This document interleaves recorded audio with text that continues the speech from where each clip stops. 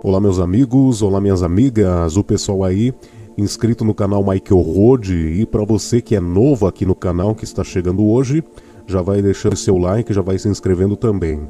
Pois é, gente, hoje eu vou trazendo esta triste notícia aqui sobre a morte da rainha Elizabeth II. Ela que morreu hoje, no dia 8 de setembro de 2022, aos seus 96 anos, após reinado mais duradouro da Inglaterra.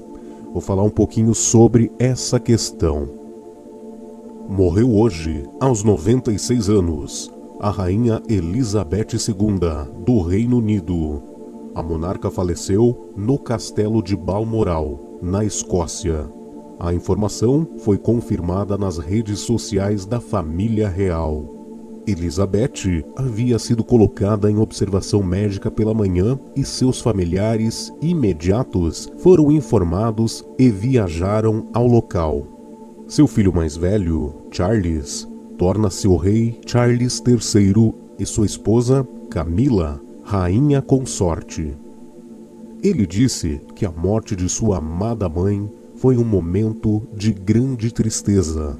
O comunicado divulgado pela família real informou que a rainha morreu em paz e que Charles e Camila permanecerão na Escócia esta noite e retornarão para Londres amanhã. No poder há 70 anos, a rainha vinha apresentando problemas de saúde. Em outubro do ano passado, ela passou a noite no hospital e precisou ficar em repouso. Elizabeth também foi diagnosticada com Covid-19 em fevereiro, quando já estava vacinada.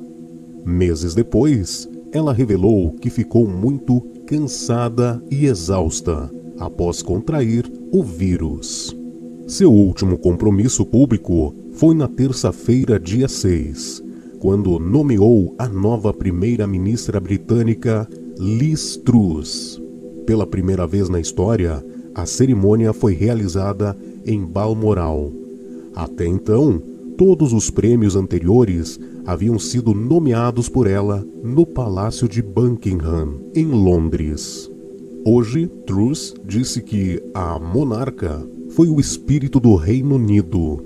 Além de Charles, Elizabeth deixa outros três filhos, todos de seus relacionamentos de 73 anos com o príncipe Philip, que morreu no ano passado, Anne, Andrew e Edward. Elizabeth foi a monarca mais longeva da história do Reino Unido e a que mais tempo ocupava o poder no mundo. A princesa de York nasceu em 21 de abril de 1926, como a terceira na sucessão do trono britânico seu destino mudou em 1936, quando o tio, o rei Eduardo VIII, abdicou do trono. Assim, o pai de Elizabeth tornou-se o rei George VI. Aos 11 anos, ele foi morar no palácio de Buckingham com seus pais e irmã caçula, a princesa Margaret, e começou a ser preparada para um dia assumir o trono. O funeral está planejado para ocorrer dez dias após a morte.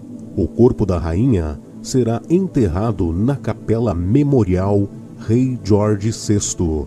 O caixão ficará ao lado de onde está enterrado Philip, seus pais e sua irmã, Princesa Margaret. Obrigado a todos que assistiram a este vídeo aqui no canal Michael Rode. Não se esqueça de se inscrever, deixe seu like e compartilhe este vídeo. Obrigado a todos.